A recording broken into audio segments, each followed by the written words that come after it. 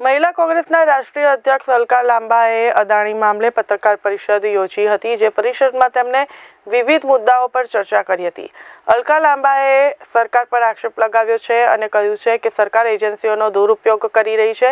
અદાણીની cell કંપનીમાં દસ હજાર કરોડ રૂપિયા જે છે તે કોના છે તેવા આકરા પ્રશ્નો કર્યા હતા અલકા લાંબાએ સમગ્ર મુદ્દે સેબી તપાસ કરે તેવી માંગ કરી હતી તો ઈડીએ જ્યાં જ્યાં દરોડા પાડ્યા છે ત્યાં ત્યાં અદાણીને તે કંપની આપવામાં આવી છે અને એસબીઆઈના પૈસા ચાર પોઈન્ટ પાંચ લાખ બિલિયન દાવ પર લાગેલા છે તો કરોડો ભારતીયોના પૈસા જોખમમાં છે मैं गुजरात में आज ये प्रेस कॉन्फ्रेंस कर रही हूं चिंता हमारी ये है कि 10 करोड़ 10 करोड़ निवेशक है हमारे। जिनका पैसा लगा हुआ है, शेयर बाज़ार के अंदर दस करोड़ उनकी संख्या है।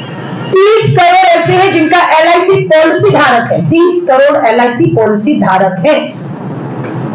एसबीआई जो अडानी की कंपनियों को अंधाधुंध देश की जनता का पैसा दे रहे उसमें पैंतालीस करोड़ लोगों की मेहनत की, कमाई का पैसा जमा है उस एसबीआई में, जिसको अंधाधुंध अडानी की कंपनियों में लगाने के लिए उन्हें दिया जा रहा है। इसकी कीमत लगभग पूरा जो बाज़ार है, वो 4.5 लाख बिलियन चार दशमलव पाँच लाख बिलियन का इसमें पैसा दाव पर लगा हुआ है। हमारी मांग है